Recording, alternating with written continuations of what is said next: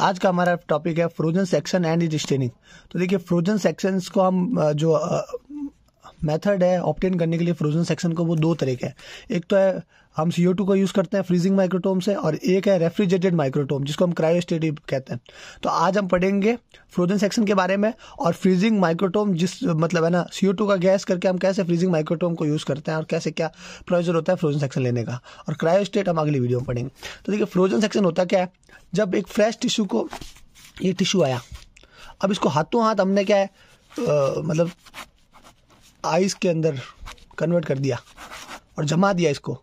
तो इसी को बोलते हैं फ्रोजन सेक्शन और इसमें क्या होता है? जो आइज़ होती है इसके मतलब आज जिस पानी है इसको जमा दिया एकदम हाथों हाथ तो जो आउज आइज़ होती है, ये ना इम्बेडिंग मीडियम की तरह काम करती है। तो इसमें क्या है दूसरा कोई इम्बेडिंग मीडियम नहीं ज़रूरत होती है। तो देखिए ये when a froze when a fresh tissue is rapidly frozen and become hard due to ice and act as embedding medium और वो आइज़ इम्बेडिंग मीडियम की तरह यूज़ होती है जब फ्रेश से हम फ्रोजन फ्रेश टिश्यू को फ्रोजन कर देते हैं, एकदम जमा देते हैं। फ्रोजन मतलब जमाना और वो हार्ड हो जाएगा। तो अब देखिए, यहाँ पे अगर हमने जमा दिया है, ठीक है तो अब इसमें ना ही डिहाइड्रेशन चाहिएगा अपन को, ना ही क्लियरिंग चाहिएगी। और ये प्रोसेस होते हैं डिहाइड्रेशन क्लियरिंग और इम्बेडिंग ये तीनों प्रोसेस कट हो जाती है और वो फास्ट हो जाता है, देखिए। ये तीनों प्रोसेस की भी ज़रूरत नहीं होती। तो ये sections are produce without the use of dehydrating solution clearing agent और वैक्स एम्बेडिंग और this processor can be carried out in operation theatre अब और ये जो प्रोसेसर है, इनको हम ऑपरेशन थिएटर कॉम्प्लेक्स में करते हैं। Near the operating table operating table के अंदर। अब इसकी एप्लीकेशंस क्या क्या है? ठीक है? तो देखिए, तीन मेनली इसकी एप्लीकेशन है, जो हमें याद रखनी है। It is a rapid intra operative diagnostic processor while patient is still under anaesthesia अब देखिए इंट्रा ऑपरेटिंग मतलब होता है जब सर्जरी चल रही होती है। तो ये रैपिड प्रोसीजर है, जब जब किसी पेशेंट की सर्जरी चल रही होती है, जब एनेस्थीसिया में तो हम इसको फ्रोजन सेक्शन का यूज़ करके हम हाथों हाथ पता लगा सकते हैं कि भाई चीज़ें क्या हो रही है।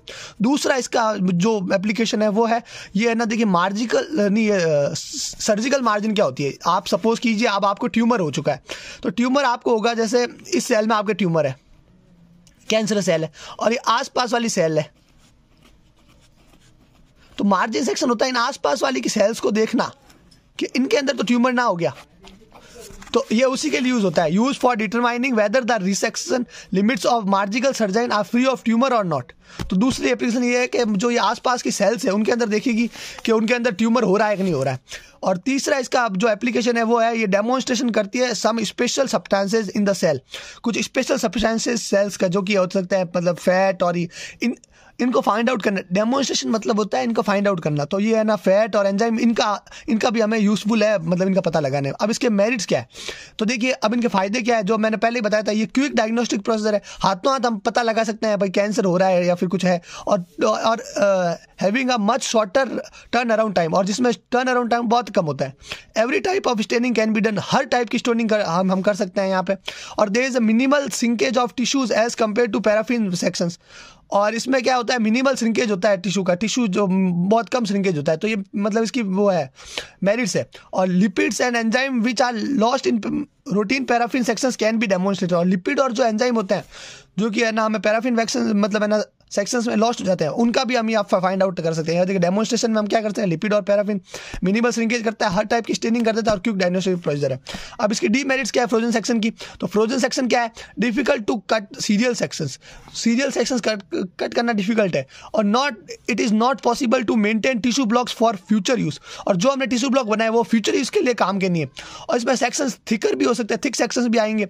और structural detail tend to be distorted और डिस्कॉटेड मतलब क्या होता है? किसी चीज़ का मुड़ जाना या फिर ना बैंड हो जाना।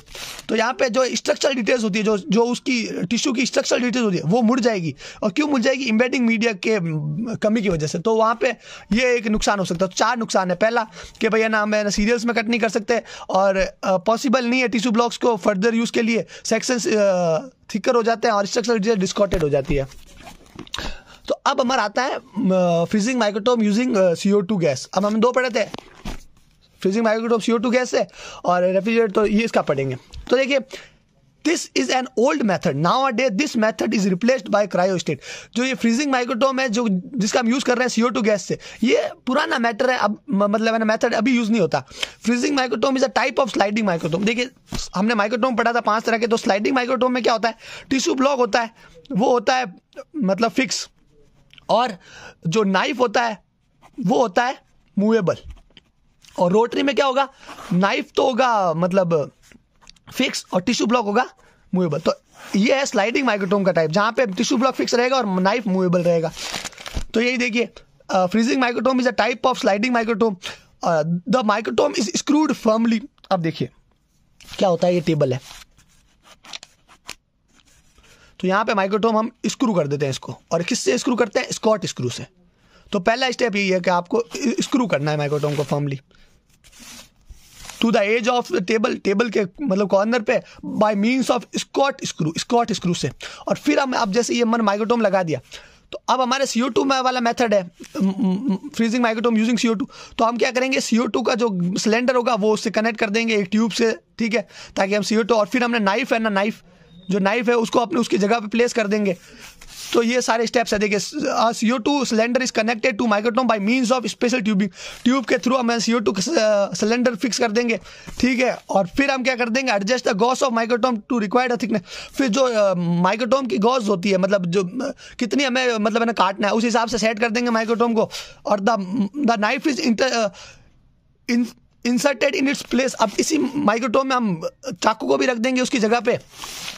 और pour few drop of water on the stage अब यहाँ पे इसके ऊपर स्टेज होगा, देखिए। ये मैं एकदम रफ डायग्राम बना रहा हूँ। अब इस स्टेज पे पहले हम पानी पानी ढोलेंगे और फिर वो सेक्शन रख देंगे। और फिर से टू वाले को ऑन कर देंगे ताकि ये एकदम सॉलिड हो जाए। और फिर हम इस नाइफ फिर ये फिक्स रहेगा और फिर नाइफ की मदद से हम इसको काट देंगे। तो यही प्रोसीजर होता है, देखिए। तो the knife is in inserted in its place, pour few drop of water on the stage and place the selected piece of tissue on it. थोड़ा पानी डालेंगे, फिर हम उस उसको रख देंगे जो हमें मतलब है ना सेक्शंस का, जिसका हमें कट करना है। और फिर हम है ना टू को मतलब है short burst of two are applied to freeze the the tissue and water till the surface of tissue is completely covered with ice और हम फिर टू को मतलब है ना लगातार वहाँ पे फेंकेंगे। कब तक, जब तक है ना, वो पूरा है ना मतलब आइस है ना, एकदम सॉलिड में ना कन्वर्ट हो जाए। और मतलब है ना, वो है ना टिश्यू पूरा कवर ना हो जाए आइस से। तब तक हम सीओ को मतलब छोड़ते रहेंगे और हम सॉलिड सीओ की तरह हम ड्राई आइस भी यूज़ कर सकते हैं। ये इसका अल्टरनेटिव है। फिर हम है ना सेक्शन को काट देंगे स्विंगिंग मूवमेंट से नाइफ नाइफ को फॉरवर्ड और बैकवर्ड करते हुए रेगुलर सेक्शंस के। और then cut sections are come with the come over with come over the knife तो अब हमने काटे नाइफ से तो नाइफ के ऊपर जो सेक्शंस देंगे वो आ जाएँगे। फिर हम उन सेक्शंस को क्या करेंगे? हम उन सेक्शंस को है ना कैमल ब्रश होता है ब्रश से वहाँ से अप्लाई करके उसको डाल देंगे हम। किसके अंदर? पेट्री डिश के अंदर डाल देंगे। तो from the knife sections are picked with with a camel brush and transfer to a petri dish containing water petri dish में डाल देंगे जिसमें वाटर होगा। और फिर हम उस मतलब है ना पेट्री डिश है ना ड्रॉपर की मदद से उसको मतलब ग्लास लाइट पे डाल देंगे। तो the sections are then placed over a glass slide with the help of a dropper और जैसे ही हमने ग्लास स्लाइड में डाला अब हम उसके मतलब उन, उनके बीच में फोल्ड आ गया तो उसको टिल्ट कर देंगे थोड़ी सी ताकि वो फोल्ड मतलब है ना नहीं रहे और फिर हम उसको है ना फ्लेम पे कर देंगे फिक्स और फिर हम उसको स्टेन कर देंगे। तो देखिए remove the folds in the section by tilting the slide slide को थोड़ा टिल्ट कर देंगे ताकि सेक्शन रिमूव हो जाए और the slide is then passed over flame for few seconds और फिर हम उस स्लाइड को है ना फ्लेम के ऊपर से पास करेंगे ताकि वो मतलब फिक्स हो जाए। और section is now ready for staining और अब सेक्शन स्टेनिंग के लिए रेडी है। विथ डिजायर्ड स्टेन अब हम जो भी स्टेन करेंगे उसके। अब इसके एडवांटेज क्या है? दिस इज़ चीप ये चीप मेथड है सस्ता है। और लेस uh, टाइम मतलब है ना लेस स्पेस घेरता है। और इक्विपमेंट इज़ पोर्टेबल और इक्विपमेंट पोर्टेबल एक जगह से दूसरी जगह ले जा सकते हैं टू वाला। फ्रीजिंग माइक्रोटोम यूजिंग टू और इसके डिसएडवांटेज क्या है? Sections cut are thick thick sections cut होते हैं। और अगर टू गैस बीच में खत्म हो सकती है। और कनेक्टिंग ट्यूब में भी block solidification of C O two. और जो कनेक्टिंग ट्यूब है वो है ना, solidification of C O two से ब्लॉक हो सकती है। तो ये हमारा हो गया freezing microtome using C O two अगला हम पढ़ेंगे क्रायो स्टेट